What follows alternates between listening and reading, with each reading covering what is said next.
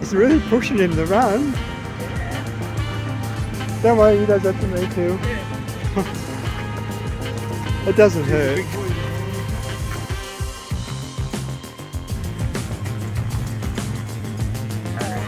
Yeah.